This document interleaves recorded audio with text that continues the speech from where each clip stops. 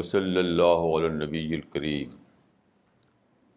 ربش رحلی صدری ویسر لی عمری وحل العقد تم لسانی یفقہ قولی.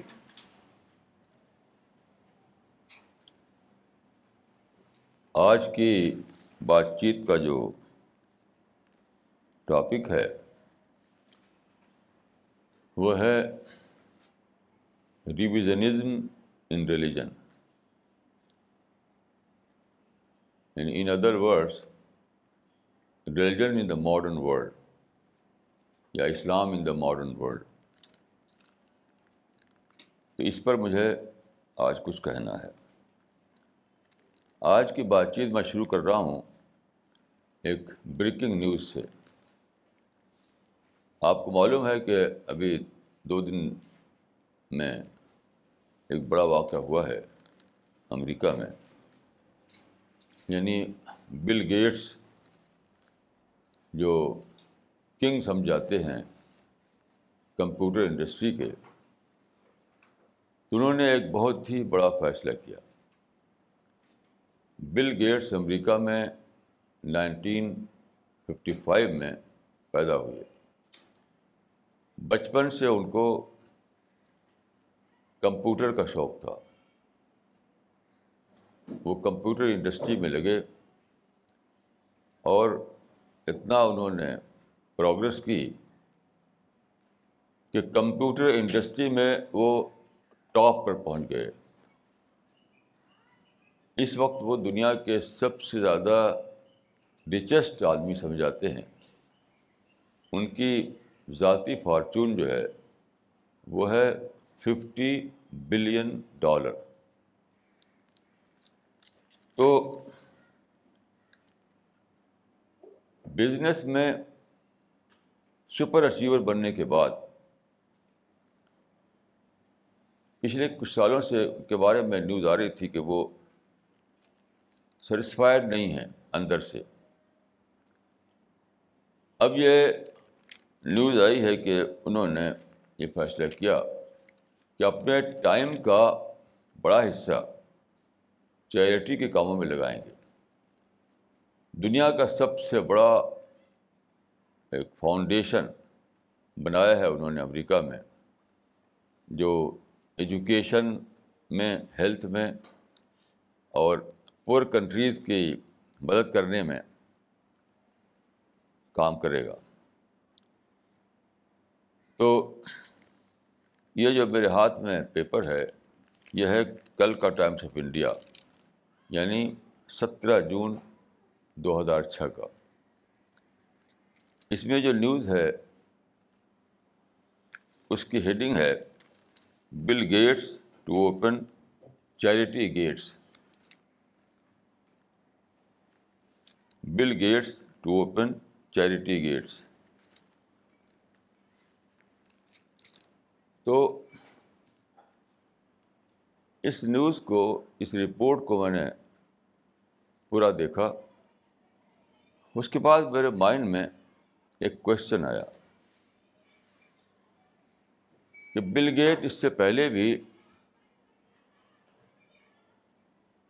انسان کو اپنا کنسرن بنائے ہوئے تھے۔ اور اب بھی انسان ہی ان کا کنسرن ہے۔ پہلے انسان کو کمپیوٹر سپلائی کرتے تھے وہ، اب انسان کو وہ چیریٹی سپلائی کرنے کا پروگرام بنایا ہے انہوں نے۔ تو ان کا سول کنسرن پہلے بھی انسان تھا، اب بھی انسان ہے۔ تو میں نے سوچا کہ جو کریٹر ہے، جس نے بل گیٹ کو اور سارے ہیومینٹی کو پیدا کیا، جس نے سارے یونیورس کو بنایا جو کریٹر بھی ہے اور سسٹینر بھی ہے، تو اس کو کیوں اپنا کنسرن نہیں بناتے یہ لوگ؟ یہ بات صرف بل گیٹس کی نہیں ہے، یہ ملین ملین دوسرے لوگوں کی بھی ہے۔ آپ دیکھیے کہ اس دنیا میں کریٹر نے ہمارے لیے کتنی بڑی بلیسنگ کی ہے کہ اس زمین پر ایک ایکسیپشنل حالت ہے جس کو ہم کہتے ہیں life support system life support system صرف ہماری ارتھ پر ہے اور یونیورس میں کہیں بھی نہیں ہے. جو آدمی بھی کوئی اچیومنٹ کرتا ہے، کوئی بھی ترقی کرتا ہے، تو وہ کریٹر کے انفراسٹرکچر ہی کو استعمال کرے کرتا ہے۔ کسی آدمی نے نہ تو اپنے آپ کو خود بنایا، کسی آدمی نے نہ تو یہ ارتھ بنائی، نہ سولر سسٹم بنایا، نہ لائف سپورٹ سسٹم بنایا، نہ انفراسٹرکچر بنایا، کچھ بھی نہیں۔ تو جس نے یہ سب کیا، جس کے جس کے، جس کی بلیسنگ سے ساری ترقیاں کرتا ہے انسان۔ اسی کو کیوں اپنا کنسرن نہیں بنا پاتا؟ یعنی بل گیٹ کا چوائس پہلے جو تھا، وہ بھی مٹیریل ورڈ سے تعلق رکھتا تھا۔ خدا ان کا چوائس نہیں بنا، حالانکہ خدا کو سپر چوائس ہونا چاہیے۔ اس پر سوچتے ہوئے میری سمجھ میں آیا کہ کہ بلیم کس پر جاتا ہے؟ یہ میں نے سوچا۔ تو میرے میرے مائنڈ نے کہا کہ بلیم بل گیٹس پر یا ان کے جیسے دوسرے لوگوں پر نہیں جاتا۔ بلیم جاتا ہے سب سے زیادہ مسلمانوں پر۔ مسلمانوں کو میں اس لیے کہہ رہا ہوں کہ ریلیجن جو ہے، جو پرزرو ریلیجن جس کو میں کہتا ہوں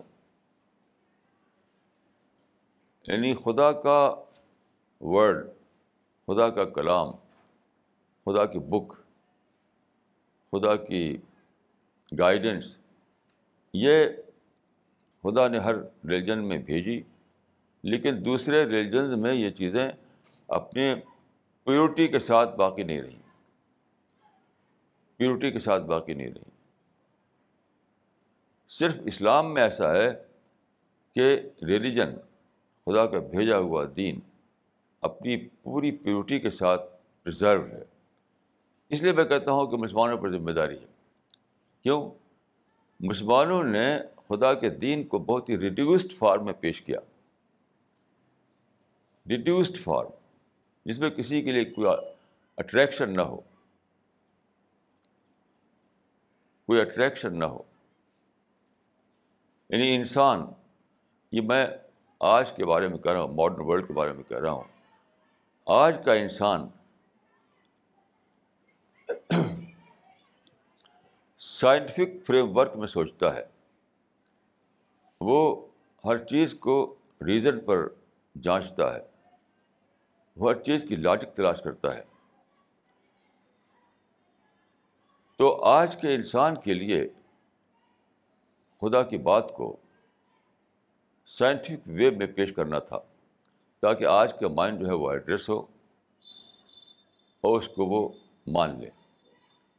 لیکن میں اس بارے میں بہت دکھی ہوں کہ پچھلے کم از کم تین سو سال سے مسلمان یہ کام نہ کر سکے، بلکہ الٹا کیا۔ دیکھیے، میں ایک دو ایگزامپل دیتا ہوں۔ مثلاً ایک شخص نے مجھ سے کہا کہ صاحب مسلمان یہ کہتے ہیں کہ پانی اس طرح پیو کہ ایک گلاس کو تین گھوٹ میں ختم کر دو۔ دائیں ہاتھ سے پکڑو، تین گھوٹ میں ختم کر دو۔ تو نے کہا کہ یہ کیا، یہ کون سی ٹیچنگ ہے؟ ہم کیوں تین گھوٹ میں ختم کریں؟ کیا اس کے پاس لاجک کیا ہے؟ تو یہ جو اس طرح سے آپ بتائیں گے آپ تعلیم کو ٹیچنگ کو تو آج کا ریشنل مائنڈ جو ہے وہ اس کو سمجھ نہیں پائے گا کہ کیوں آخر تین گھوٹ میں ختم کریں ہم؟ کیا اس میں ہے؟ تو میں نے اس کو ایکسپلین کیا، میں نے کہا کہ دیکھیے، یہ تین کا ورڈ یہاں پر اس کا مطلب نہیں کہ تین۔ اصل میں یہ ہے کہ بہت ہی یعنی سوچتے ہوئے پینا۔ بس جلدی جلدی ختم کرنا ایسا نہیں۔ کیوں؟ جب پانی آپ کے سامنے آیا تو آپ یہ سوچیں کہ پانی کیا چیز ہے؟ اتنے بڑے یونیورس میں نیومرس باڈیز ہیں، کہیں بھی پانی موجود نہیں۔ نہ سورج میں نہ چاند میں، نہ اسٹارس میں، نہ کہیں بھی پانی موجود نہیں۔ پانی ایک بہت ہی ریئر چیز ہے جو صرف ہمارے ارتھ میں پایا جاتا ہے۔ آپ جانتے ہیں کہ پانی نہ ہو تو زندگی نہیں۔ پھر پانی کیسے بنتا ہے؟ دو چیزیں ہیں جو الگ الگ گیسز ہیں، آکسیجن اور ہائیڈروجن، ان کے مل سے وہ ملی تو پانی بن گیا۔ اور خدا نے کس طرح سے ان کو اوشن میں، اوشن کے ریزروائر میں اکٹھا کیا۔ ریور جو ہے وہ کا فلوئنگ ریزروائر ہے، اس پانی کو اکٹھا کیا۔ پہاڑ کے اوپر جما دیا برف کی شکل میں پانی کو۔ یعنی یہ سارا چیزیں جو ہیں، جب سوچیں گے آپ، تو کیا آپ ایسا کریں کہ جلدی جلدی پی جائیں؟ نہیں، آپ کا مائنڈ ورک کرے گا۔ خدا کی نعمت کو سوچے گا۔ خدا کی بلیسنگ کی طرف آپ کو دھیان چلا جائے گا۔ تو تین گھوٹ کا مطلب تین گھوٹ نہیں ہے۔ مطلب دھیرے دھیرے سوچتے ہوئے پینا۔ خدا کی نعمت کو یاد کرتے ہوئے پینا۔ اس انوکھی نعمت کو جس کا نام پانی ہے۔ تو جب میں نے اس اس پہ ایکسپلین کیا تو مان گیا کہ ہاں ٹھیک ٹھیک کہہ رہے ہیں آپ۔ دیکھیے، ایک ہے وہ طریقہ جو عام طور پر پیش کیا جاتا ہے اور جو میں نے طریقہ سے بتایا، اس کو تو اس کو مل گیا، اس کا اس کے مائنڈ کو اس کا مائنڈ ایڈریس ہو گیا۔ اس طریقے سے نماز کو لیجیے ایک شخص نے نماز دیکھی تو اس نے کہا، کیا ہے؟ یعنی کچھ ریچولس ہیں یا اس کو آپ پورا کر لیتے ہیں؟ یہ ریچولس کریں تو کیا، نہ کریں تو کیا؟ یہ ایک مسلمان ہی تھے، لیکن وہ نماز کو کچھ امپورٹنٹ نہیں دیتے تھے پڑھے لکھے تھے۔ تو کہ کیا ہے یہ نماز؟ یعنی کچھ ریچولس کیا تو آپ نے خدا کی بات کر ڈالی، نہیں کیا تو آپ گناہ گار ہو گئے۔ تو اس کو نزدیک نماز نام تھی کچھ ریچولس کا۔ تو میں نے کہا کہ دیکھیے، ایسا نہیں ہے۔ نماز کا بلا شبہ ایک فارم ہے، جس کو آپ ریچولس کہہ رہے ہیں، لیکن اس کے ساتھ اس کی ایک اسپرٹ ہے۔ اصل چیز اسپرٹ ہے۔ اصل چیز جو اسپرٹ ہے یعنی خدا کو بڑا سمجھنا، خدا کا شکر گزار ہونا۔ سارے انسانوں کے لیے دل میں پیس کا جذبہ ہونا۔ تو ایک اسپرٹ ہے جو مینیفیسٹ کرتی ہے نماز کی شکل میں۔ تو میں نے کہا، نماز کیا ہے؟ نماز اسپرٹ ان ایکشن ہے۔ Spirit in action simply form نہیں ہے سمپلی ریچولس نہیں ہے. ایک اسپرٹ ہے جو مینیفیسٹ ہو کر نماز بن جاتی ہے. تو جب میں نے یہ کہا کہ نماز اسپرٹ ان ایکشن ہے، تو فوراً مطمئن ہو گیا وہ. اس سے آپ اندازہ کر سکتے ہیں کہ اصل چیز کیا ہے. اصل چیز یہ ہے کہ آج کے انسان کے یہ سوچ تھی، جو اس کا فریم ورک تھا اس کے لحاظ سے دین کو پیش نہیں کیا گیا۔ تو نہ صرف پڑھا لکھا مسلمان بھی بدگمان ہوا اور دوسرے لوگ بھی بدگمان ہو گئے۔ یہاں میں آپ یاد دلانا چاہتا ہوں کہ پچھلے یعنی دو سو سال میں کیا ہوا ہے؟ مغربی یعنی ویسٹرن سویلائزیشن کا سامنا کرنا پڑا مسلمانوں کو۔ کیونکہ آپ جانتے ہیں کہ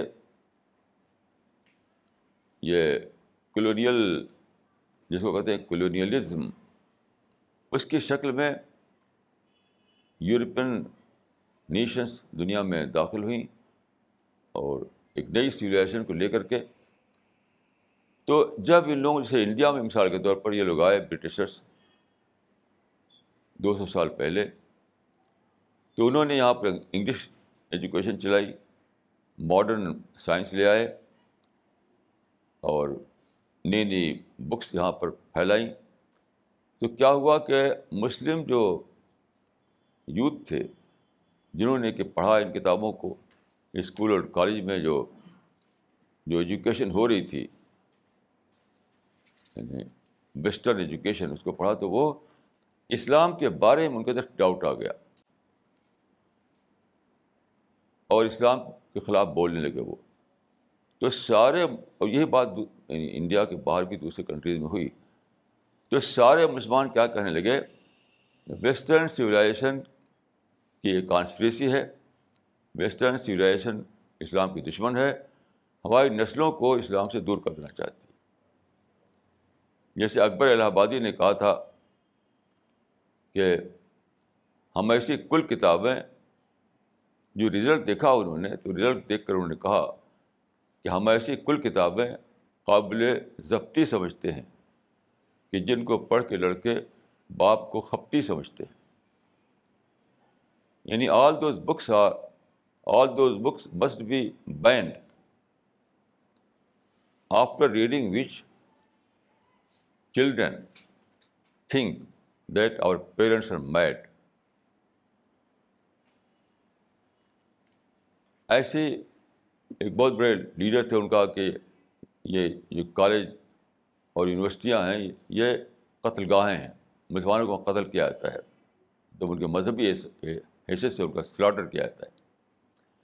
تو اس زمانے میں جتنے بھی مسلمان تھے لکھنے، بولنے والے، سب کے سب یہی کہنے لگے ویسٹرن سویلائزیشن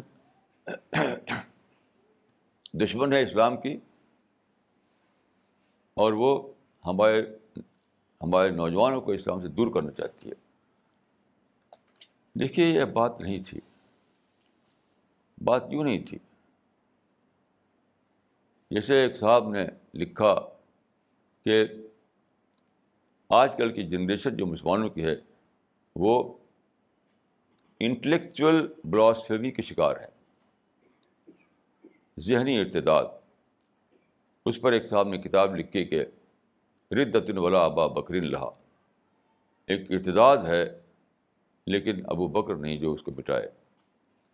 دیکھیے، یہ ارتداد نہیں تھا۔ یہ تھا ڈسکنٹینٹ یا ڈسٹسفیکشن وہ کیوں تھا؟ ماڈرن ایڈیم میں ان کے سامنے اسلام کو پیش نہیں کیا گیا۔ اسلام پیش کیا جا رہا تھا ٹریڈیشنل وے میں۔ ہماری جتنی بکس لکھی گئی تھی وہ سب ٹریڈیشنل پیریڈ میں لکھی گئیں اور اسلام کو ٹریڈیشنل انداز میں پیش کیا گیا۔ اب جب سائنس کا زمانہ آیا تو ضرورت تھی کہ سائنٹیفک میتھڈ سے اسلام کو پیش کیا جائے۔ حدیث میں آتا ہے کہ یقون بصیرم بے زمان ہی قرآن میں ہے کہ تمام انبیاء اپنے زمانے کی، اپنے قوم کی زبان میں بھیجے گئے۔ یعنی جب بھی کوئی دائی اٹھے تو اس کو اپنے وقت کے میڈیم میں کلام کرنا چاہیے۔ یعنی میڈیم، ایڈیم، اپنے وقت کی ایڈیم میں کلام کرنا چاہیے۔ یعنی وہ لینگویج، وہ اسٹائل وہ ریزننگ جو آڈینس کو کے مائنڈ کو ایڈریس کرے۔ جو آڈین کو آڈینس کے مائنڈ کو ایڈریس کرے۔ ایسا نہیں ہوا۔ ایسے زبان لوگ بولتے رہے جو آج کا مائنڈ جس سے ایڈریس نہیں ہوتا، ہو رہا تھا۔ تو ود کے لوگ اب کہہ دیا کہ یہ ویسٹرن سویلائزیشن پر ڈال دیا بلیم دیکھیے، اگر یہ لوگ سوچتے کہ غلطی ہماری ہے کہ آج کے لحاظ سے ہم ان کو لٹریچر پیش نہیں کر سکے، ماڈرن ایڈیم میں ہم ان کو اسلام نہیں بتا سکے۔ آج ریزن بیسڈ بات ہوتی ہے، لاجک پر بات چلتی ہے، سائنٹیفک انداز میں بات چلتی ہے۔ تو ہم کو بھی چاہیے کہ ہم اسلام کو اس انداز میں پیش کرائیں۔ ایسا نہیں ہوا۔ اپنے آپ کو بلیم دیتے تو اپنے آپ کو تیار کرتے۔ اپنے آپ کو تیار کرتے۔ میں نے خدا کے پھل سے اب سے بہت پہلے یعنی کوئی ساٹھ سال پہلے، یہی سمجھا تھا کہ بلیم اپنے آپ پر جا رہا ہے۔ اپنے آپ پر جا رہا ہے۔ یعنی ہم آج کی نسلوں کو ان کے اپنی انڈرسٹینڈیبل لینگویج میں اسلام کو بتا نہیں پا رہے۔ ہیں چنانچہ میں، میری ایجوکیشن ہوئی تھی مدرسے میں، پھر میں نے انگلش پڑھی۔ انگلش پڑھ کے کہ ویسٹرن تھاٹ کو پڑھا اور پھر میں نے بکس لکھی۔ میرا تجربہ ہے کہ جو لوگ بھی میرے بک پڑھتے ہیں، یہ ماڈرن لوگ۔ جن کے بارے میں کہا تھا انہوں نے کہ لوگوں نے مذاق اڑایا تھا، وہ سب کے سب جہاں تک میں نے جانتا ہوں کہ وہ اسلام کے امپورٹنس کو ایکسیپٹ کر لیتے ہیں اور اسلام کا ماننے لگتے ہیں کہ اسلام آج بھی اتنے ہی ریلیونٹ ہے اتنا کہ پہلے تھا۔ تو یہاں پر میں یہ کہنا چاہتا ہوں کہ یہ صورت حال ہر مذہب میں پیش آئی۔ تو ریویژنزم آیا ہر مذہب میں۔ ریوائز کرو مذہب کو ریفارم کرو، بدلو مذہب کو۔ آپ جانتے ہیں کہ یہ بہت بڑی موومنٹ ہے جو ہر مذہب میں چل رہی ہے ریویژنزم کی موومنٹ لیکن میں یہ کہوں گا کہ دوسرے ریلیجن میں، اور اسلام میں ایک ڈفرینس ہے۔ دوسرے ریلیجن میں ڈویژنزم کا مطلب ہے ان کے اپنے ٹیکسٹ ہی کو بدلنا۔ کیونکہ دوسرے ریلیجن میں خود ٹیکسٹ میں بدلاؤ آ گیا ہے، اسی میں چینج آ گیا ہے۔ تو چینج ہی وہاں پر جو ہے معاملہ ٹیکسٹ کو ریوائز کرنے کا، خود ٹیکسٹ کو۔ اسلام کا معاملہ یہ نہیں ہے۔ اسلام کا ٹیکسٹ اسلام کا معاملہ یہ ہے کہ خود ٹیکسٹ تو انٹیکٹ ہے، لیکن جو جو انٹرپریشن دیا گیا اس ٹیکسٹ کا، جو کمنٹری ہے، اس میں بہت زیادہ ملاوٹ آئی ہے۔ میں نے بہت پڑھا ہے، میں پورے کنوکشن کے ساتھ کہہ سکتا ہوں کہ اسلام کا جو ٹیکسٹ ہے یعنی قرآن اور حدیث، اس میں کسی بھی ریویژن کی ضرورت نہیں۔ کسی بھی ریویژن کی ضرورت نہیں۔ لیکن جو کمنٹری ہے، جو بات کو کتابیں لکھی گئی ہیں، جو انٹرپریشن دیے گئے ہیں، وہ سب دیے گئے تھے پری سائنٹیفک ایرا میں۔ وہ سب دیے گئے تھے ٹریڈیشنل دور میں۔ تو اسی لینگویج میں لکھے گئے ہیں وہ۔ آپ اس کو پوسٹ سائنٹیفک ایرا میں جو لینگویج چلی ہے، اس انداز میں پیش کیجیے تو میں سمجھتا ہوں کہ کوئی پرابلم نہیں آئے گا۔ تو یہاں پر میں عرض کروں کہ مثال کے طور پر جو میں نے بل گیٹس اور اس طرح کے بہت سے لوگوں کے بارے میں کہا کہ خدا کا ایک چھوٹی سی امیج ان کے ذہن میں ہوتی ہے، کیونکہ ایک ریڈیوسڈ فارم میں پیش کیا ہم نے خدا کو۔ ریڈیوسڈ فارم کہیں بھی دیکھیے تو دوسرا انسان ہم ہمارے یعنی ہم نے جو پریزنٹ کیا ہے امیج مذہب کی یا خدا کی، وہ ایک ریڈیوسڈ پکچر ہے۔ تو اس میں متاثر نہیں ہوتا انسان۔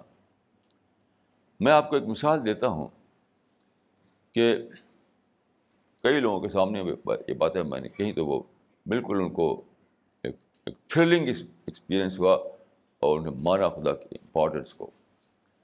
جیسے آپ دیکھیے، ایک مثال کہ ابھی اسی مہینے میں اسی سال میں یعنی, یعنی جنوری دو ہزار چھ میں جنوری دو ہزار چھ میں ایک واقعہ ہوا۔ امریکہ نے ایک راکٹ بھیجا ہے اسپیس میں جس کو پلوٹو تک پہنچنا ہے۔ پلوٹو ہمارے سولر سسٹم کا سب سے چھوٹا پلینٹ ہے۔ سب سے چھوٹا اور سب سے دور۔ یعنی پلوٹو اتنا دور ہے کہ سورج کی لائٹ زمین تک آٹھ منٹ میں پہنچ جاتی ہے۔ لیکن پلوٹو تک پہنچنے میں اس کو پانچ گھنٹے بھی زیادہ لگتے ہیں۔ یعنی سن کی لائٹ زمین تک پہنچنے میں آٹھ منٹ لگتے ہیں۔ لیکن پلوٹو تک سن کی لائٹ پہنچنے میں ساڑھے پانچ گھنٹے لگ جاتے ہیں۔ اتنا دور ہے پلوٹو۔ اور ساتھ ساتھ یہ کہ بہت ہی چھوٹا ہے وہ۔ بہت زیادہ چھوٹا۔ تو ابھی تک وہ انڈسکورڈ رہا ہے کہ کیا ہے وہاں پر حالات۔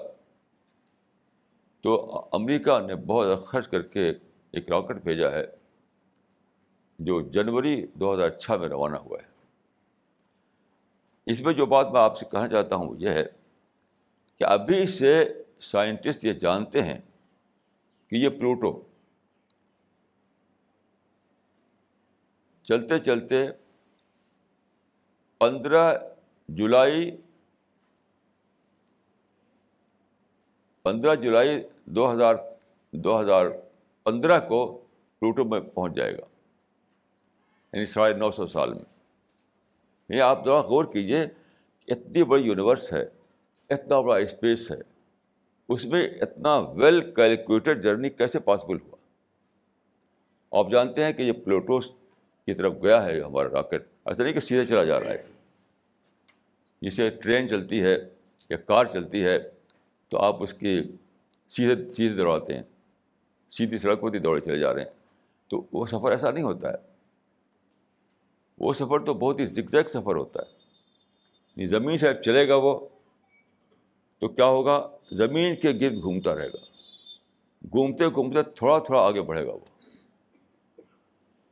زمین کے گرد چکر کرتے ہوئے تھوڑا تھوڑا آگے بڑھتا رہے گا، بڑھتا رہے گا، بڑھتا رہے گا، بڑھتا رہے گا۔ پھر چلتے چلتے وہاں پہنچے گا جہاں کہ پلوٹو کا اسفیر آتا ہے۔ پھر پلوٹو کے گرد گھومنے لگے گا وہ۔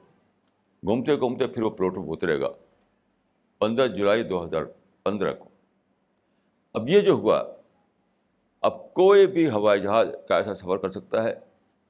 کہ کوئی بھی کار ایسا سفر کر سکتی ہے، تھوڑی تھوڑی دیر میں مسائل پیدا ہوتے ہیں۔ ہوائی جہاز جو آپ اڑتے ہیں، آپ جانتے ہیں کہ کنٹرول روم ہوتا ہے، بہت بڑا۔ پوری پوری پوری طرح جہاز کو کنٹرول کیا جاتا ہے، کمپیوٹر کے ذریعے اور ماڈرن جو طریقے ہیں، اس کے ذریعے سے۔ اگر یہ کنٹرول روم نہ ہو، تو کوئی بھی جہاز، کوئی بھی ایویشن سسٹم چلے گا نہیں۔ آپ غور کیجیے کہ یہ پلوٹو کا سفر جو کر رہا ہے ایک راکٹ، اور اتنا آپ کیلکولیشن کر پاتے ہیں، اتنا پریڈکٹیبل ہے سارا معاملہ کہ آپ ابھی سے بتا سکتے ہیں کہ ٹھیک ٹھیک پندرہ جولائی دو ہزار پندرہ کو وہ پلیٹو پہ اتر جائے گا۔ تو کیا یہ اٹرینڈم ہو رہا ہے یہ سب کچھ؟ اگر ہمارے اویشن کا جو سسٹم ہے ہمارا ہوائی جہاز سسٹم ہے جو، وہ کنٹرول روم کے بغیر چل نہیں سکتا۔ ایک دن بھی نہیں چل سکتا، سب سارا کولیپس کر جائے گا۔ سارا جہاز ٹکرا کر زمین پہ گر پڑیں گے۔ اگر کنٹرول روم نہ ہو تو۔ تو کیسے اتنا بڑا یونیورس چل رہا ہے؟ کیسے سولر سسٹم چل رہا ہے؟ کیسے اتنا زیادہ ویل کیلکولیٹڈ سارا معاملہ ہے؟ کیسے ہو رہا ہے؟ تو اگر کنٹرول سے اگر کنٹرول روم کے بغیر اویشن امپاسبل ہے، تو کنٹرول روم کے بغیر یہ سولر سسٹم کیسے پاسبل ہو جائے گا؟ میں نے جس کے سامنے بھی اس طرح کی بات کہی ہے، اس کو ماننا پڑا کہ ضرور اس کے پیچھے خدا ہے۔ اسی لیے ایک سائنٹسٹ نے کہا تھا کہ who are the god who rode this science لیکن جو تحکمی انداز ہمارے مدرسوں میں چلتا ہے، جو مسجدوں میں ہوتا ہے، تحکمی انداز، اس سے تو کچھ بھی نہیں ہوگا۔ تو میں یہ کہہ رہا ہوں کہ کہ انسان جو خدا کو یا مذہب کو اپنا چوائس نہیں بنا پاتا، اس کی وجہ یہ ہے کہ اس کے سامنے خدا کا یا مذہب کا بہت ہی ریڈیوسڈ فارم آتا ہے۔ ایسا فارم جو اٹریکٹیو نہ ہو، جس کو اپنا سول کنسرن وہ نہ بنا سکے۔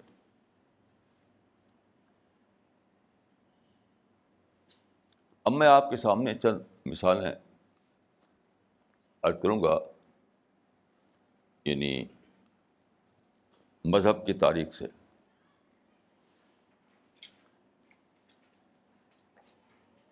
قرآن میں چند مثالیں دی گئی ہیں کہ کس طرح سے پچھلے پیغمبروں نے کس طرح پچھلے پیغمبروں نے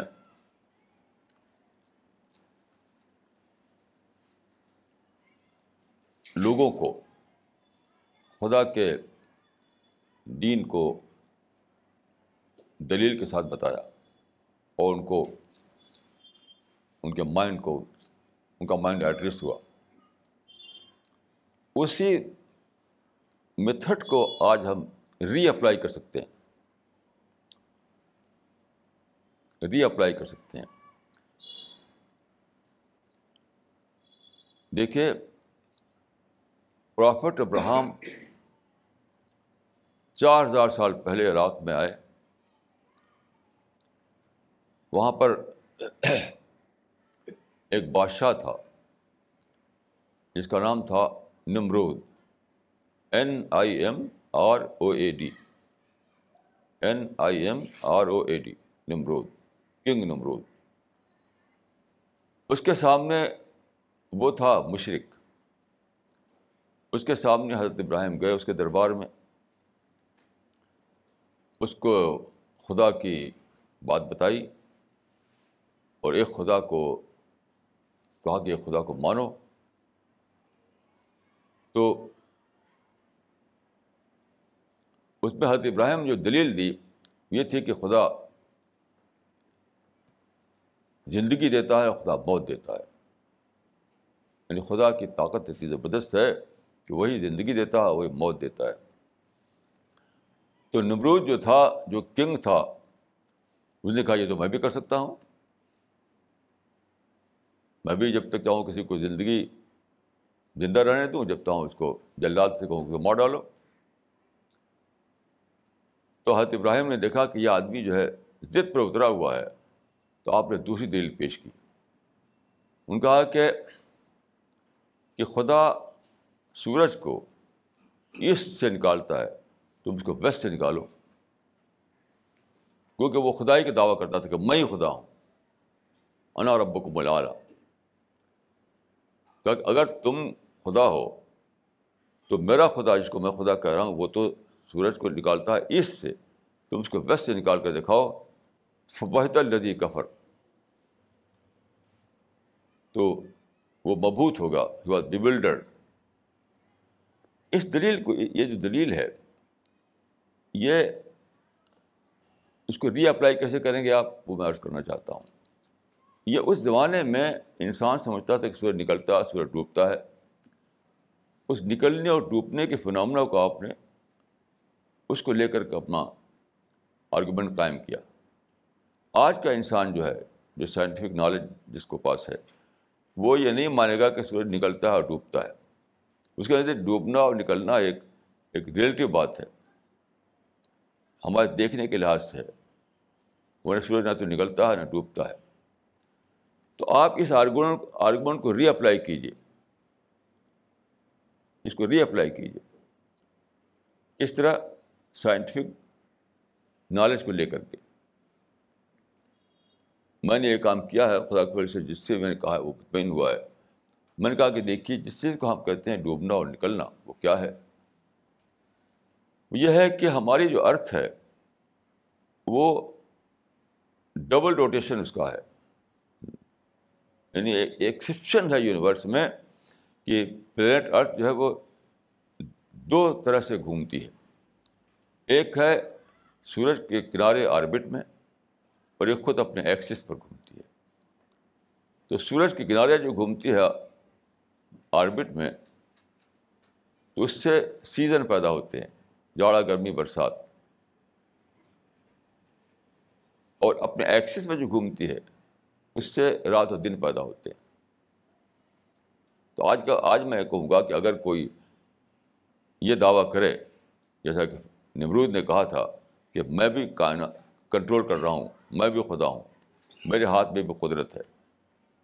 تو اس سے ہم کہہ سکتے ہیں کہ ٹھیک ہے، تم ایسا کرو کہ زمین جو اپنے ایکسس پر گھوم رہی ہے، اس کو روک دو۔ ایک ہی ایک ہی صرف آربٹ پہ گھومے وہ۔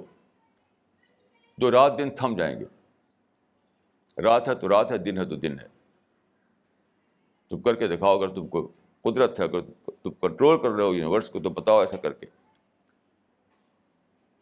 یا ایسا ہو کہ صرف صرف ایکسس پہ گھومے، وہ آربٹ پہ نہ گھومے سورج کے گرد، تو سیزن نہیں پیدا ہوں گے۔ ایک ہی سیزن ٹھہرا رہے گا۔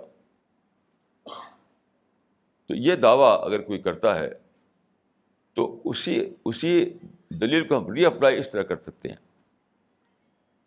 تو آرگومنٹ جو ہے ابھی بھی ویلڈ ہے، صرف اس کی اس کی ہم لینگویج ہم کو بدلنا ہوگا۔ اس طریقے سے حضرت ابراہیم کی جو قوم تھی وہ پوچھتی تھی سورج چاند کو۔ تو آتا ہے قرآن میں کہ انہوں نے لوگوں کو اکٹھا کیا اور کہا کہ دیکھو، چاند چمک رہا تھا۔ کہا کہ یہ چاند جو چمک رہا ہے، تو سمجھتے کہ یہ خدا ہے۔ تو پھر کیا ہوا؟ جب رات بڑھی، تو دھیرے دھیرے سورج سورج چاند جو ہے وہ ڈوب گیا۔ تو ان کہا کہ دیکھو چاند اگر خدا تھا تو ڈوب کیوں گیا؟ انی لاحب العافلین۔ جو ڈوبنے والا ہے اس کو میں خدا کیسے مانوں؟ اگر چاند خدا ہوتا تو نہ ڈوبتا وہ۔ اس طرح سورج کے لیے انہوں نے لوگوں سے کہا کہ دیکھو، سورج نکلا اور دن بھر وہ روشن رہا اور شام ہوئی تو ڈوب گیا وہ۔ تو وہاں پر انہوں نے کہا کہ دیکھو، اگر سورج خدا ہوتا تو نہ ڈوبتا۔ تو اس کے ڈوبنے کو لے کر انہوں نے کہا کہ یہ خدا نہیں ہو سکتا ہے۔ اسی آرگومنٹ کے آج ہم ری اپلائی کر سکتے ہیں آج۔ وہ اس طرح سے کہ مثلاً چاند کو لیجیے ہم یہ کہیں گے، جیسا کہ میں نے لوگوں کے اوپر یہ استدلال، یہ دلیل میں نے لوگوں کے سامنے پیش کی ہے، وہ وہ ماننے پر مجبور ہوئے ہیں وہ، کہ میں نے کہا کہ چاند جو ہے، آپ جانتے ہیں ہزاروں سال سے لوگ یعنی مون گاڈ کا کانسیپٹ رہا ہے۔ چاند کو خدا مانتے رہیں لوگ۔ چاند کو پوچھتے رہیں لوگ۔ تو آج ہم یہ کہتے ہیں کہ چاند جو ہے، اس کو تم سمجھتے ہو کہ وہ روشن چاند ہے۔ حالانکہ روشنی چاند میں ہے ہی نہیں۔ چاند تو سورج کی روشنی کا ریفلیکشن ہے، اس کی روشنی۔ چاند سورج سے روشنی لے کر وہ چمکتا ہے۔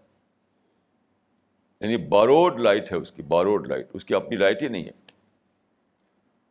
دوسری بات یہ کہ وہ سمپلی راک ہے، راک، اور کچھ بھی نہیں پھر آپ جانتے ہیں کہ نائنٹین سیونٹی ٹو میں انسان سفر کر کے چاند پر پہنچا اور چاند پر اس نے اپنا قدم رکھ دیا، چاند پر اس نے اپنا جھنڈا گاڑ دیا۔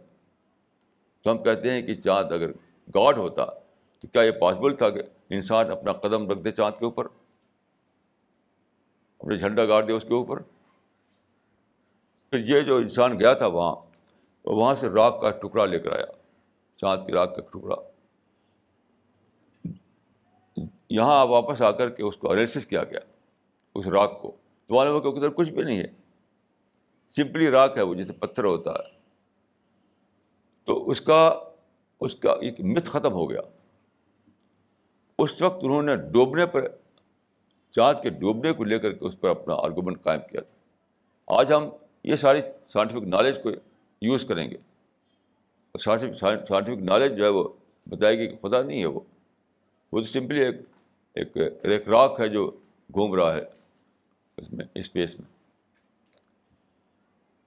اس طرح سے دیکھیے، رسول اللہ صلی اللہ علیہ وسلم نے کیا ایک واقعہ میں عرض کرتا ہوں۔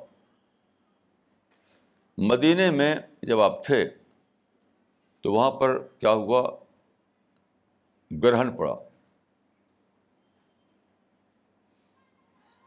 جس کو کہتے ہیں وہ سولر سسٹم، وہ وہ لیونر ایکلپس اور سولر ایکلپس تو وہاں گرہن پڑا۔ اتفاق سے کیا ہوا؟ اسی دن رسول اللہ کا بیٹا ابراہیم، جس کی ایج تھی صرف ڈھائی سال، وہ مر گیا۔ تو لوگوں نے کہا کہ دیکھو، پیغمبر کا بیٹا مر گیا ہے، اس لیے ایکلپس ہوا ہے، اس لیے گرہن پڑا ہے۔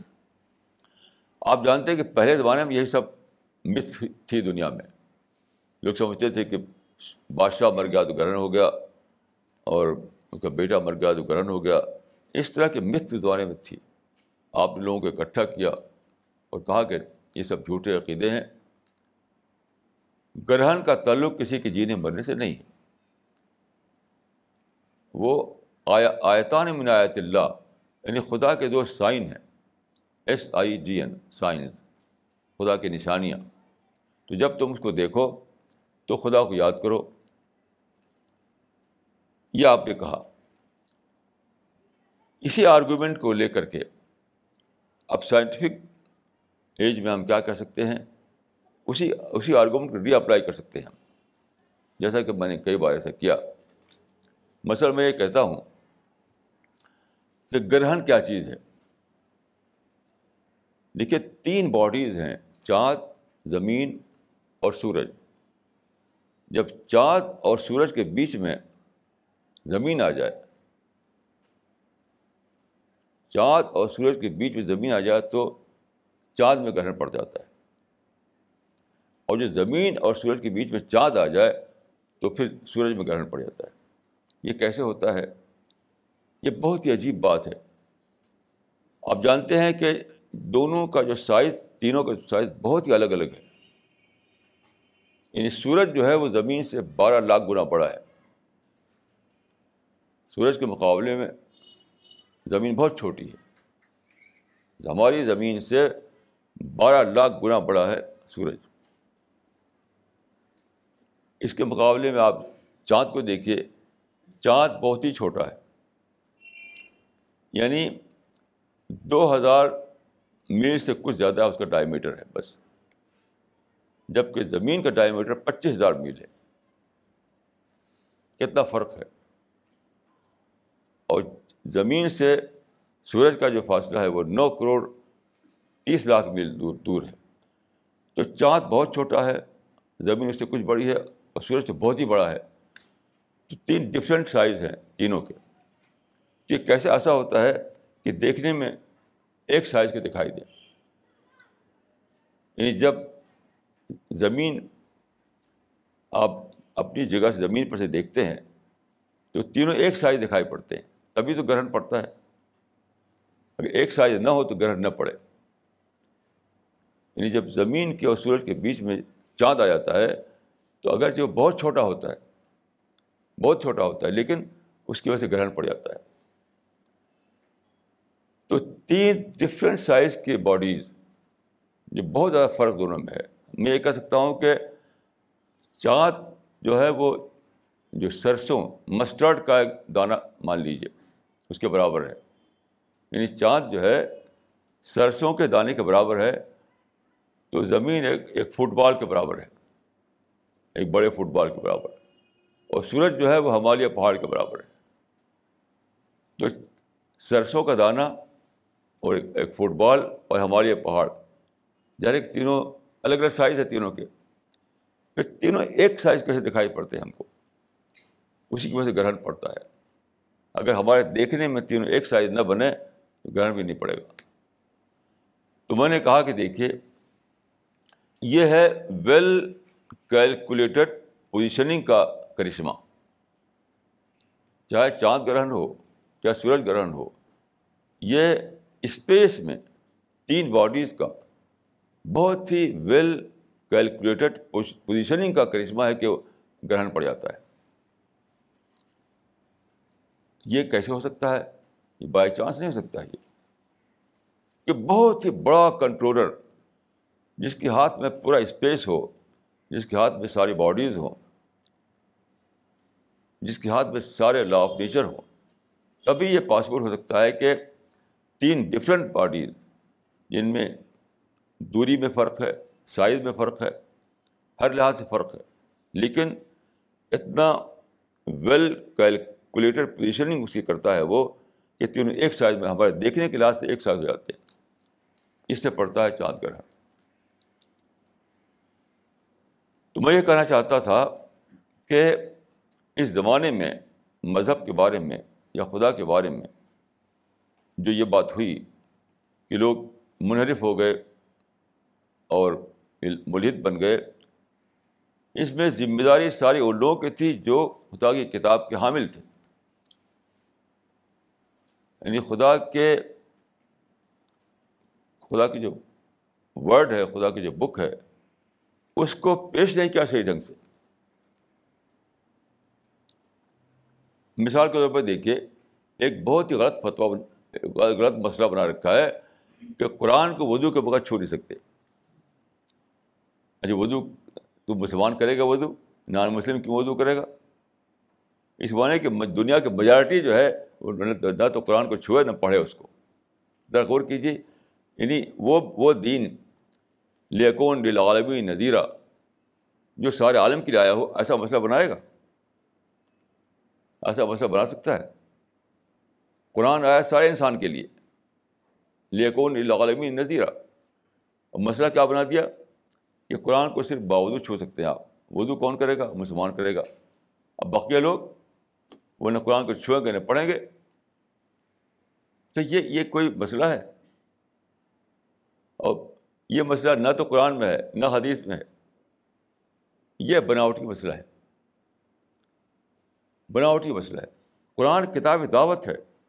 کتاب دعوت ایسے مسئلے کو افورڈ نہیں کر سکتی، یاد رکھیے۔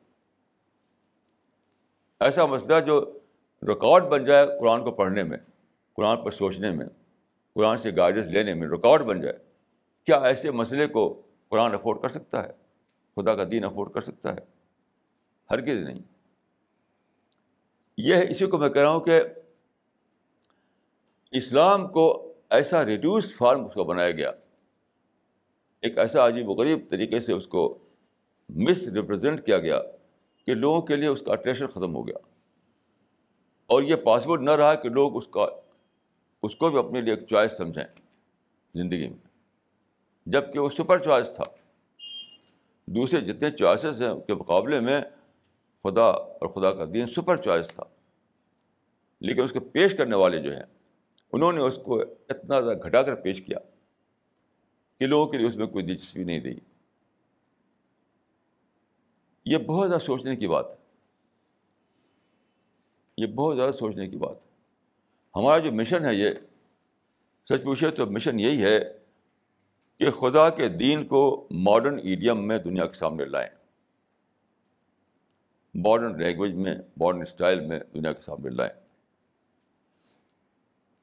دیکھیے، قرآن میں بتایا گیا ہے کہ اسلام جو ہے وہ دینی فطرت ہے یعنی ریلیجن آف نیچر۔ جب خود نیچر ہی میں وہ انٹر وومن ہے خود نیچر میں موجود ہے جس کا مطلب ہے کہ اس کو ایکسیپٹ کرنا بہت آسان ہوگا۔ جیسے ہنگر جو ہے میرے نیچر میں ہے، تو پانی کو پینا بہت آسان ہے میرے لیے۔ جو چیز خود نیچر میں ہو نیچر میں اس کی عرض ہو، اس کی تڑپ ہو، اس کی مانگ ہو، اس کو وہ پہلے ہی سے وہ ایکسیپٹیبل ہے انسان کے لیے۔ ایسی ایسی ایک چیز کیسے انسان اس کو اگنور کر سکتا ہے؟ دوسری بات یہ ہے کہ یعنی جو میں عرض کر رہا ہوں کہ ماڈرن ایڈیا میں پیش کرنا، اس کی ایک مثال اور میں عرض کرتا ہوں آپ کی خدمت میں، کہ عام طور پر مسجدوں میں، مدرسوں میں ادھر ادھر جو پیش کیا جاتا ہے، وہ یہ کہ انسان مرے گا تو قور میں عذاب ہوگا، وہاں پر فرشتے آئیں گے، وہاں پہ سانپ ہوگا، وہاں بچو ہوگا۔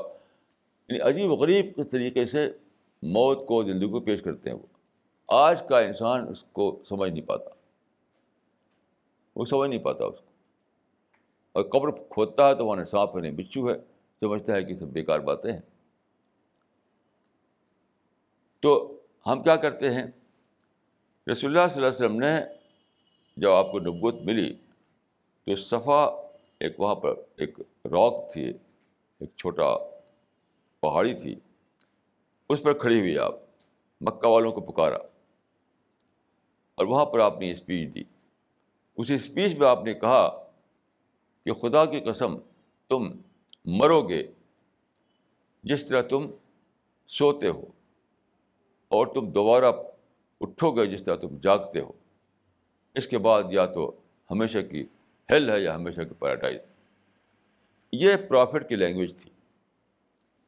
اس لینگویج کو آج ہم اگر ری اپلائی کریں تو اس کو میں نے ڈھالا ہے سائنٹیفک لینگویج میں۔ اور میں اسی بات کو اس طرح کہتا ہوں کہ اگر آپ چاہتے ہیں سکسیزفل لائف اگر آپ چاہتے ہیں کہ آپ کی زندگی کامیاب ہو، تو سب سے پہلے آپ کو کریشن پلان آف گاڈ کو جاننا ہوگا۔ اس بات کے لیے میں نے یہ ورڈ یوز کرتا ہوں میں۔ کریشن پلان آف گاڈ ابھی میرے پاس ٹیلیفون آیا حبیب بھائی کا۔ کہ کریشن پلان آف گاڈ والی بات کو لے کر انہوں نے ایک اسپیچ دی وہاں پر اپنے سینٹر میں۔ تو لوگوں نے اتنا پسند کیا کہ ایک اور بڑا، ایک بڑی میٹنگ ارینج کی کل، جہاں اس کو زیادہ ڈیٹیل کے ساتھ انہوں نے ایکسپلین کیا اس کو۔ تو یہ جب کہا انہوں نے کہ یعنی اس کو کریشن پلان آف گاڈ کا جو ورڈ یوز کیا، تو انسان کا مائنڈ ایڈریس ہو گیا۔ اسے سمجھا کہ اسلام کی بات آج کی بات ہے سائنٹیفک ایج کی بات ہے۔ اور جو اسٹائل لوگ بولتے تھے، لگتا تھا کہ پرانی بات ہے، اس میں کوئی ہمارے لیے کچھ دینا نہیں ہے ہم کو۔ تو ہمارا جو مشن ہے وہ یہ ہے کہ خدا کے میسج کو آج کی لینگویج میں بیان کرنا۔ آج کی زبان میں بیان کرنا۔ میں ایک کالج میں گیا، وہاں پر زیادہ تر نان مسلم تھے، تو انہوں نے ایک اعتراض ایک ایک ایک سوال کیا۔ تو انہوں نے کہا کہ اسلام میں جنڈر ایکولٹی نہیں ہے۔ یہ بہت بڑا اسلام میں بہت بڑی کمی ہے۔ اسلام میں جنڈر ان ایکولیٹی ہے۔ یعنی عورت کو کم کر دیا ہے، مرد کو زیادہ کر دیا ہے۔ تو میں نے کہا کہ دیکھیے، یہ جنڈر ان ایکولیٹی کی بات نہیں ہے، بلکہ وہ بات یہ ہے کہ خدا نے عورت مرد میں ڈفرینس رکھا ہے ڈفرینس یعنی نا برابری نہیں ہے، بلکہ ڈفرینس ہے، فرق ہے۔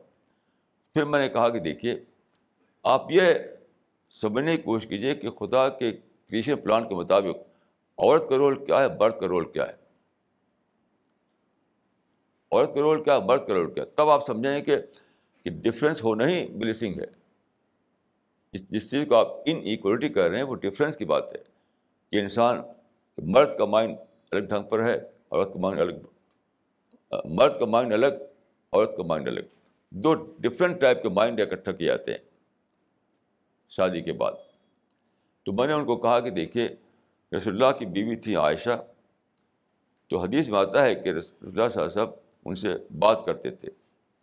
کان یحد سنی جب موقع ہوتا تھا یعنی جب گھر میں آتے تھے آپ، جب موقع ہوتا تو کان یحد سنی وہ مجھ سے بات کرتے تھے یعنی انٹلیکچولی ایکسچینج کرتے تھے۔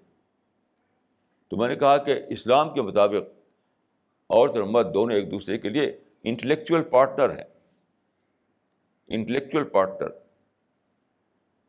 اور انسان دیکھے سب سے بڑی چیز کے پاس کیا ہے؟ مائنڈ مائنڈ کی جو فیکلٹی ہے سب سے بڑی ہے وہ۔ اور مائنڈ کا متعلق یہ جانتے ہیں آپ کہ مائنڈ جو ہے اس کے اندر بہت زیادہ کیپیسٹی ہے، لیکن وہ ہے ڈارمنٹ پوزیشن میں۔ جس طرح دو پتھر ہیں، اس میں آگ سوئی ہوئی ہے، چھپی ہوئی ہے آگ آپ جب ٹکراتے ہیں دو پتھر کو، تو اسپارکنگ ہوتی ہے۔ دو پتھروں کے ٹکرانے سے ایک تیسری چیز آئی اسپارکنگ لائٹ تو مائنڈ بھی اسی طرح کا ہے۔ مائنڈ کی جو کیپیسٹی ہے، اس کی ضرورت ہے کہ دو ڈفرینٹ ٹائپ کے مائنڈ ایک دوسرے سے ٹکرائیں۔ ان میں انٹلیکچوئل ایکسچینج ہو۔ تو خدا کی اسکیم یہ ہے کہ عورت اور مرد ایک گھر میں اکٹھا ہوں۔ جو شادی کا جو انسٹیٹیوشن ہے، اس کا مطلب یہی ہے۔ یہ سب سے بڑا جو مقصد ہے خدا کا، وہ یہ ہے کہ دو ڈفرینٹ مائنڈ کو اکٹھا کرنا۔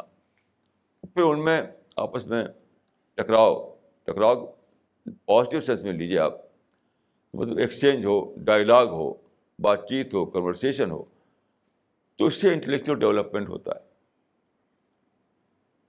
انٹلیکچوئل ڈیولپمنٹ ہوتا ہے۔ میں اپنے ایکسپیرئنس کی بنا پر کہہ سکتا ہوں کہ انسان صرف بک ریڈنگ سے ساری بات نہیں جا سکتا۔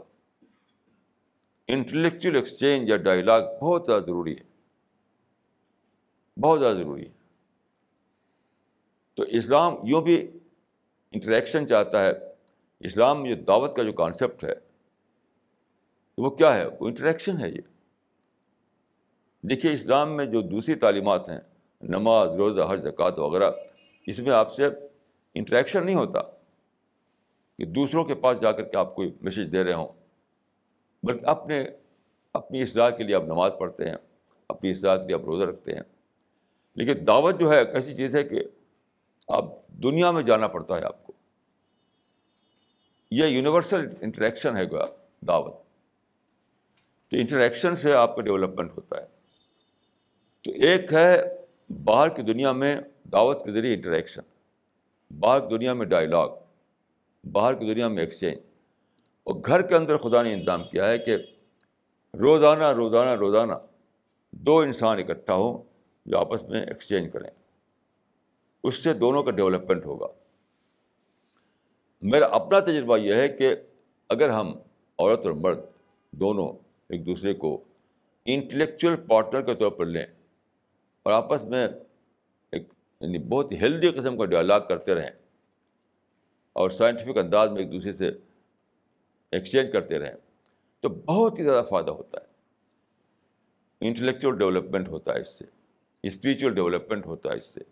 نئے نئے ایریاز سامنے آتے ہیں۔ جو بات آپ نے بک میں پڑھی ہے، جب اس کو آپ ایکسچینج میں لاتے ہیں ڈائلاگ میں لاتے ہیں، تو نئے نئے آسپیکٹ کھلتے ہیں۔ نئے نئے آسپیکٹ جو صرف پڑھتے وقت آپ پر نہیں کھلے تھے۔ تو میں نے کہا کہ خدا کا جو اسکیم آف تھنک اس کو سمجھیے۔ خدا کی اسکیم آف تھنک یہ ہے کہ دو ڈفرینٹ مائنڈ کو اکٹھا کرنا ایک گھر کے اندر۔ تاکہ ان میں ایکسچینج ہو، تاکہ دونوں کا انٹلیکچوئل ڈیولپمنٹ ہو اور پھر سویلائزیشن میں وہ لوگ کنٹریبیوٹ کر سکیں ہیلدی طریقے سے۔ یعنی ہر گھر ایک اسکول ہے، ایک فارمل ایجوکیشن ہے، ہوتی ہے اسکول میں کالج میں، لیکن گھر میں ہر گھر ایک اسکول ہے، اس، اسلام کی اسکیم کے مطابق۔ جیسا کہ رسول اللہ عائشہ سے گھر ہی کے اندر کرتے تھے وہ ایکسچینج تو وہ کہتی کان حد سنی جب موقع ہوتا تھا، آپ مجھ سے بات کرتے تھے کنورسیشن کرتے تھے۔ تو اسلام کا جو وہ ہے مقصد، وہ انسان کے پوٹینشیل کو باہر لانا۔ خدا نے بے پناہ پوٹینشیل دے کر آپ کو پیدا کیا ہے۔ یہ پوٹینشیل ایکچوئل کیسے بنے گا؟ اس کے لیے ضرورت ہے انٹریکشن کی، اس کی ضرورت ہے ڈائلاگ کی۔ اس کی ضرورت ہے ریڈنگ کی۔ اور اسی ضرورت کا ایک حصہ یہ ہے کہ عورت اور مرد دونوں ایک دوسرے سے ایکسچینج کریں۔ دونوں ایک دوسرے کے لیے انٹلیکچوئل پارٹنر بن جائیں۔ اب یہ جو مقصد ہے خدا کا، اس کو لے کر آپ سوچیے تو اگر مرد اور عورت دونوں ایک دم ایک ایک ڈھنگ پر سوچتے ہوں، ایک بالکل ایکول دونوں کو ہوں، تو ایکولیٹی جو ہے ریکارڈ بن جائے گی۔ ان ایکولیٹی ہی میں چل سکتا ہے ڈائلاگ جب تک ڈفرینس نہ ہو، جب تک دو ڈھنگ کی سوچ نہ ہو، تب تک ڈائلاگ تو کچھ بھی نہیں ہوگا، دو مونولاگ ہوگا۔ تو خدا کی اسکیم آف تھنک کو سمجھ کر کے جب آپ سوچیں گے، تب پتہ چلے گا کہ عورت اور مرد میں خدا جو ڈفرینس رکھا ہے، وہ ایک بہت بڑی پلاننگ کا حصہ ہے۔ بہت بڑی پلاننگ کا حصہ ہے۔ یعنی intellectual development spiritual development social development یہاں تک کہ سویلائزیشن کے ڈیولپمنٹ انٹرنیشنل لیول پر ڈیولپمنٹ سب سے جڑے ہوئے ہیں ایک دوسرے سے میں نے اس سے پہلے عرض کیا تھا کہ خدا کا جو سب سے بڑا یعنی ہمارے سامنے جو سب سے بڑا ٹارگیٹ دیا گیا ہے کہ ہم اپنے آپ کو جنت پیراڈائز میں کے قابل بنائیں اپنے آپ کو کوالیفائی کر سکیں پیراڈائز کے لیے یہ سب سے بڑا ٹارگیٹ ہمارا ہے۔ اور وہ کیا ہے؟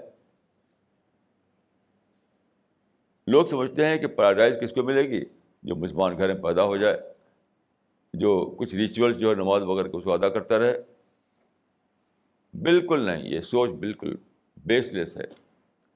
قرآن میں ہے کہ ظال کا جزا من تزکا۔ یعنی جنت ملے کس کو؟ جو اپنے سول کو پیوریفائی کرے یعنی صرف پیوریفائڈ سول ہی پیراڈائز میں جائیں گے۔ تو سول کا پیوریفیکیشن کیسے ہوگا؟ وہی ہوگا کہ انٹلیکچوئل لیول پر جب آپس میں ڈائلاگ ہو ایکسچینج ہو، اس طرح سے ہوگا۔ تو سول کا پیوریفیکیشن مین مقصد ہے ہمارا۔ کیونکہ پیوریفائڈ سول ہی وہ ہوں گے جو ڈیزرو کریں گے پیراڈائز میں داخلے کے۔ تو میں یہ کہہ رہا تھا کہ لوگوں کے سامنے خدا کے دین کا ایک ریڈیوسڈ فارم رکھ دیا گیا ہے۔ ریڈیوسڈ فارم اس میں کوئی کشش نہیں۔ کوئی اس میں اٹریکشن نہیں۔ تو میں یہ کہوں گا کہ ایک ہے پری پری سائنٹیفک ایرا جو تھا، اس میں ٹریڈیشنل طور پر ہر چیز سم یعنی ٹریڈیشنل زمانہ تھا وہ۔ ہر چیز کا ایک ایک ٹریڈیشنل ورژن تھا۔ لوگ ٹریڈیشنل انداز میں سوچتے تھے، اسی انداز میں پریزنٹ کرتے تھے باتوں کو۔ لیکن پوسٹ سائنٹیفک ایرا میں اب ہیں ہم، تو ہمیں ضروری ہے کہ ہم آج کی لینگویج کو سمجھیں۔ آج کے سوچنے کا انداز جو ہے انسان کا، اس کو سمجھیں۔ اور آج کا جو ایڈیم ہے، اس میں اسلام کو پیش کریں۔ خدا کے دین کو پیش کریں۔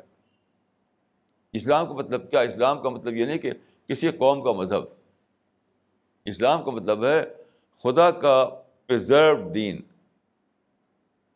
خدا کا کلام، خدا کا ورڈ جو ہے، اپنی اوریجنل حالت میں پرزرو ہے قرآن میں۔ اور جگہ وہ پرزرو حالت میں نہیں ہے۔ اس سینس میں میں کہتا ہوں کہ اسلام اسلام کا جب میں نام لیتا ہوں، اس سینس میں نام لیتا ہوں، کسی اور سینس میں نہیں۔ تو میں یہ عرض کروں گا کہ جب یہ جو ہیٹ پیدا ہوگی مسلمانوں کے اندر ویسٹرن سویلائزیشن کے خلاف۔ وہ سب سے بڑی ریکارڈ بن گئی اسلام کو دنیا کے سامنے لانے کے لیے۔ ہیٹ۔ یعنی ویسٹرن سویلائزیشن آئی تھی نئے یعنی نئے تھاٹ کو لے کر، نئے ٹیکنیک کو لے کر، نئی نالج کو لے کر۔ اس سے مسلم جنریشن متاثر ہوئی۔ تو ہم نے کہا دیا کہ یہ ویسٹرن سویلائزیشن جو ہے، ہماری لوگوں کو دین سے دور کرنا چاہتی ہے۔ یہ بیس لیس بات تھی۔ اصل بات یہ تھی کہ ہم جو وقت کا جو چیلنج تھا، اس کے لحاظ سے ہم اسلام کو پیش نہیں کر سکے۔ اس کے لحاظ سے پیش نہیں کر سکے۔ تو ہمارے لوگوں کو لگا کہ اسلام جو ہے، وہ اس میں ریزن کا کوئی جگہ نہیں ہے، اس میں لاجک کی کوئی جگہ نہیں ہے۔ اس میں سائنٹیفک تھنکنگ کوئی جگہ نہیں ہے۔ اس بنا پر وہ اسے دور ہو گئے۔ اگر وہ اگر وہ پاتے کہ اسی اس، اسی ہی اسٹینڈرڈ پر اسلام کیا،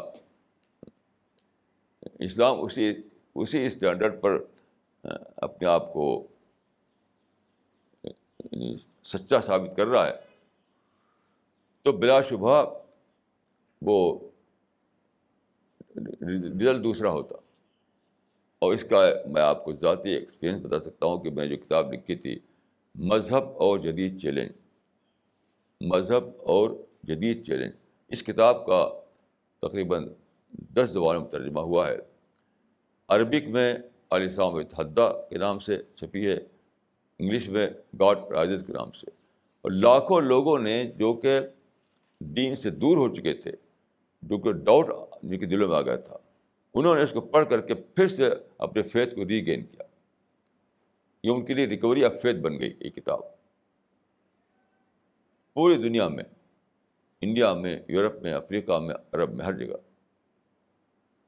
تو اس کے معنی کہ وہ جو تھا خیال کہ ویسٹرن سویلائزیشن جو ہے، وہ اسلام کی دشمن ہے انہیں میں ایسے لوگ پیدا ہوئے جنہوں نے اسلام کو دوبارہ ڈسکور کیا۔ میں لندن گیا، کئی سال پہلے کی بات تو وہاں مجھے ایک وائٹ آدمی ملا، جس نے اسلام قبول کیا تھا۔ تو میں نے اس سے پوچھا کہ کیسے آپ نے اسلام قبول کیا؟ اس کی کہانی میں لکھی اپنے سفر نامے میں اس کے نام کے ساتھ، اس کے ایڈریس کے ساتھ۔ تو اس نے کہا کہ میں ایک کرسچن فیملی میں پیدا ہوا۔ جو ریلیجن مجھے وہاں ملا تھا، وہ ٹرینٹی پر بیس کرتا تھا۔ Three in one one in three خدا ایک بھی ہے اور خدا تین بھی ہے۔ تو اس نے کہا کہ یہ بات میری سمجھ میں کسی طرح نہیں آتی تھی۔ میری ایجوکیشن سائنس میں ہوئی اور تو یہ بات ان سائنٹیفک لگتی تھی مجھے کہ ایک ہی چیز تین بھی ہو اور وہی چیز ایک بھی ہو۔ لیکن مجھے میرے پاس کوئی آلٹرنیٹیو نہیں تھا کہ اس کے سوا۔ اس کے بعد میں نے گاڈ رائزز پڑھی۔ تو اچانک مجھے منکشف ہوا کہ یہ یہ جو ہے، یہ تو کرسچینٹی کا، چرچ کا پیدا کیا ہوا، خدا ہے۔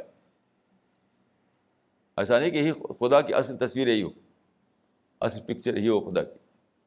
اس چرچ نے بنایا ہے۔ تو جب میں نے گاڈ کی وہ پکچر جو آپ نے دی ہے، گاڈ رائزز میں، وہ میرے سامنے آئی۔ تو میں نے اپنی سمجھا مجھے میرے نیچر میں جو چھپا ہوا تھا خدا، وہ خدا مجھے مل گیا۔ جب تک میں وہاں رہا، کچھ دن میں لندن میں تھا، پھر برمنگم میں تھا، مانچسٹر میں تھا، بار بار اس سے ملاقات ہوتی رہی۔ یہاں تک کہ جو کتاب میں لکھی ہے یعنی اسلام ری ڈسکورڈ یہ جو بک لکھی ہے، میں نے تو برابر ہی میرے ساتھ تھا۔ وہ یہ یہ بک کا بڑا حصہ میں لکھا ہے مانچسٹر میں۔ مانچسٹر میں جب میں تھا۔ تو وہاں پر ہم یہ کرتے تھے کہ ہم لوگ چار آدمی تھے۔ ایک میں، ایک عرب، ایک انڈونیشی اور ایک وہ وہ انگریز۔ تو اس میں ایسا ہوتا تھا کہ میں ایک آئیڈیا فلوٹ کرتا تھا۔ اب میری انگلش ایسے کہ ویسی نہیں تھی جس کی، جس انگریز کی انگلش تو میں ایک آئیڈیا فلوٹ کرتا تھا اپنی انگلش میں۔ اس کو ڈسکشن ہوتا تھا وہ۔ ہمارے ساتھ جو دوسرے لوگ تھے۔ پھر اس کو لینگویج میں ڈھالتا تھا وہ وہ انگریز جو ہوتا تھا۔ پھر اس کو جو انڈونیشین نوجوان تھا، اس کو ٹائپ کرتا تھا۔ اس طرح سے بیٹھ کر کے میں نے ایک کتاب لکھی تھی۔ کہ آئیڈیا میں نے پیش کیا، اسے ڈسیزن ہوا۔ وہ عرب جو تھا، وہ اس نے کچھ ایڈ کیا اس میں۔ اس نے بتایا۔ ڈسیزن ہونے کے ساتھ ساتھ پھر آخر میں وہ وہ انگریز جو تھا، اس نے اپنی لینگویج ڈھالا اس کو لینگویج میں اپنی۔ پھر انڈونیشین نے اسے وہ ٹائپ کیا۔ اس طرح سے وہ کتاب تیار ہوئی۔ اب وہ آدمی کتنا ہیلپفل بن گیا اسلام کے لیے۔ جو آدمی پیدا ہوا کرسچن فیملی میں، لیکن وہاں پر وہ، کیونکہ وہ، وہاں پر مطمئن نہیں تھا وہ، تو پھر وہ اسلام کے فولڈ میں آیا۔ اور پھر میرا وہ یعنی رائٹ ہینڈ بن گیا۔ اور ابھی بھی وہ کام کر رہا ہے وہاں پر دعوت کا۔ تو لوگ جو ہیں یہ دیکھ کر کے کہ اسلام کے خلاف لوگوں کو مس انڈرسٹینڈنگ ہے، اسلام کے خلاف کچھ بول رہے ہیں۔ تو سمجھ لیتے ہیں کہ یہ یعنی ان کے انٹینشن کو، سمجھ لیتے ہیں کہ ان کی انٹینشن خراب ہے، یا ویسٹرن ورلڈ جو ہے اس نے بہکا رکھا ہے ان کو۔ ایسا کچھ بھی نہیں۔ ہمارے پریزنٹیشن میں کمی کی بات ہے یہ۔ ساری کمی ہمارے پریزنٹیشن کی ہے۔ ابھی دیکھیے قرآن کا جو ٹرانسلیشن ہے، ہم یہاں پر ٹرانسلیشن قرآن کا کروا رہے ہیں انگلش انگلش میں۔ تو میں نے جائزہ لیا تو جتنی بھی ٹرانسلیشن ہے، سب کے سب ٹرانسلیشن ایسے ہیں کہ اس میں یا تو غلط ہے، یا امفیسس بدل گیا ہے، یا امبیگوٹی آ گئی ہے۔ جو فورسفل انداز عربک لینگویج میں ہے، اس طرح سے وہ کنوے نہیں ہوتا انگلش میں۔ اب غور کیجیے کہ اتنا دو سو سال سے اتنی دھوپ مچی ہوئی ہے دنیا بھر میں، جہاد ہو رہا ہے اور بلین ٹریلین ڈالر خرچ ہو رہے ہیں اس جہاد میں۔ لیکن آج تک ہماری امت ایک صحیح ٹرانسلیشن قرآن کا پیش نہیں کر سکی تو میرے جیسے آدمی کو کرنا پڑ رہا ہے وہ کام۔ اس کے بجائے آپ کرسچنس کو دیکھیے؟ بائبل کا ٹرانسلیشن نہایت ہی صحیح لینگویج میں انہوں نے کر رکھا ہر زبان میں۔ کیونکہ وہ اپنی طاقت اس ساری لگاتے ہیں اس میں۔ ان کا ہاں ہوتا ہے کہ بورڈ ترجمہ کرتا ہے، ایک فرد نہیں۔ بورڈ ہمارے جتنے بھی ٹرانسلیشن وہ کسی انڈیویجول نے کر رکھے ہیں۔ بورڈ کو لے کر ٹرانسلیشن بڑا نہیں ہوا۔ تو بہرحال چیز ہے یہ کہ خدا کے دین کو ہم نے آج کے ایڈیم میں پیش نہیں کیا، اس لیے دنیا اسلام سے بدگمان ہو گئی ہے۔ اور یعنی ہم ویسٹرن ورلڈ سے پہلے ہم نے ہیٹ کیا، ہیٹ کرتے کرتے اس سے لڑنے لگے اور جہاز شروع کر دیا۔ تو دو سو سال سے ہم اسی میں پڑے ہوئے ہیں۔ پہلے ہیٹ، اس کے بعد جہاد، اس کے بعد وائلنس بس سوسائڈ بامبنگ۔ اصل جو کام کرنا تھا کہ ہم آج کو سمجھیں، ماڈرن لینگویج کو سمجھیں ماڈرن اسٹائل کو سمجھیں اور اس زبان میں ہم اسلام کو پیش کریں۔ یہ نہیں ہوا۔ یہ کام نہیں ہوا۔ اسی لیے میں کہا کرتا ہوں کہ داو ورک کا آغاز ہوتا ہے ہیٹ کو ختم کرنے سے۔ جو بھی مجھ سے پوچھتا ہے کہ دعوت ورک کیسے کریں، تو میں کہتا ہوں کہ آپ سب سے پہلے یہاں جو اسٹارٹنگ پوائنٹ ہے وہ یہ ہے کہ دل سے ہیٹ کو نکال دیجیے جب تک آپ ہیٹ نہیں نکالیں گے جب تک دنیا کے لیے آپ کے دل میں خیرخائی نہیں آئے گی۔ جب خیرخائی نہیں آئے گی تو دعوتی کام کیا کریں گے آپ؟ تو سب سے بڑی برائی جو آئی کولونیلزم کے زمانے میں کہ مسلمان دوسری قوموں سے ہیٹ کرنے لگے ہیٹ کرتے کرتے ان سے لڑنے لگے اور اس کو گن گن اور بم ان کے خلاف استعمال کرنے لگے یہاں تک سوسائڈ بامنگ کرنے لگے۔ تو پوری پوری مسلم دنیا جو ہے نگیٹیوٹی میں پڑ گئی وائلنس میں پڑ گئی۔ اسلام کی امیج یہ بن گئی کہ اسلام تو اس میں تو فریڈم نہیں ہے، اس میں تو پیس نہیں ہے، اس میں ٹالرنس نہیں ہے۔ جب یہ امیج بن جائے اسلام کی تو کوئی اسلام کو کیوں پڑھے گا؟ اس وجہ سے ہمارے اپنے رویے کو درست کرنے سے دعور کا کا آغاز ہوتا ہے۔ اور سب سے بڑا جو ہمیں کرنا ہے وہ ہے کہ دوسروں کے خلاف ہم نفرت کرنا چھوڑ دیں۔ دوسرے سے ہیٹ کرنا چھوڑ دیں۔ دوسروں کو بلیم دینا چھوڑ دیں۔ بلیم دائی سیلف یہاں سے دعوت کے کام کا آغاز ہوتا ہے۔ کیونکہ جب ہم اپنے آپ کو اپنی غلطی کو ڈسکور کر لیں گے، تبھی ہم صحیح پلاننگ کر سکیں گے۔ تو میں سمجھتا ہوں کہ آج اسی طرح سے سچائی کے لیے آج بھی اتنا ہی میدان تیار ہے جتنا کہ پہلے کبھی تھا۔ ضرورت صرف یہ ہے کہ جو سچائی کو پیش کرنے والے ہیں، وہ سچائی کو اس طرح پیش کریں جس طرح جو جو آج لوگوں کا مائنڈ ہے، جس سے ان کا مائنڈ ایڈریس ہو، جس طرح جو ان کے لیے سچائی انڈرسٹینڈیبل بن سکے۔ سچائی دلوں کو فتح کرتی ہے، لیکن جب دل تک پہنچے تب تو جب ایسی لینگویج ہم یوز کریں کہ وہ دل تک پہنچنے ہی والی نہ ہو، تو سچائی کیسے دلوں کو فتح کرے گی؟ میری دعا ہے کہ اللہ تعالیٰ ہم سب کو توفیق دے کہ ہم خدا کے دین کو اس کے اصل روپ میں پیش کر سکیں۔ اقول و قولی حاضہ واسطہ اللہ علیہ ولکم اجمعین۔